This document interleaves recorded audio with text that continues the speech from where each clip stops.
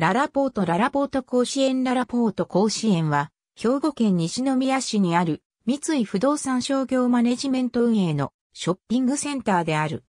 三井不動産が阪神パーク甲子園住宅遊園跡の地権者である阪神電気鉄道から事業用定期借地方式によって敷地を賃借し建物を建設。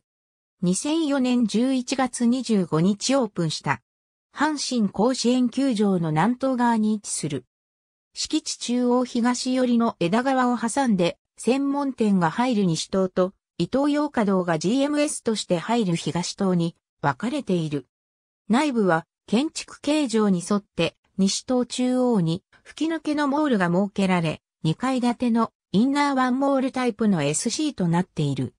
また、2009年3月27日には、増床部分に、キッザニア甲子園が開園した。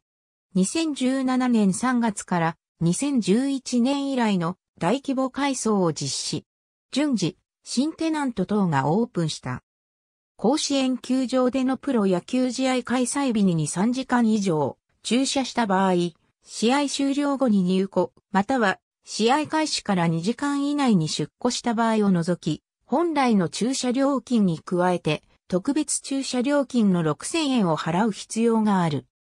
これは、野球観戦目的での駐車を排除するのが目的であって、ララポート及び伊東洋華道利用目的の駐車であれば、原則として試合開始の1時間後から2時間30分後の間に、ララポート館内に設置のゼロシステム認証機に駐車券を通すことで、前日の特別駐車料金は免除される。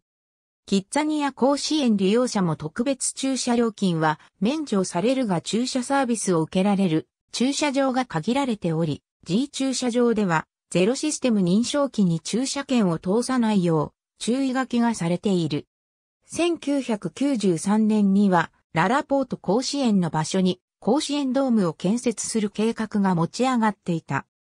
阪神甲子園球場の老朽化が目立っていたことと、阪神パークがその時点で赤字を抱えていたことから、阪神パークを閉園してその跡地に甲子園ドームを建設するというものであったが、後に計画見直しとなり、甲子園阪神パーク跡地に新球場を建設する計画は頓挫した。ありがとうございます。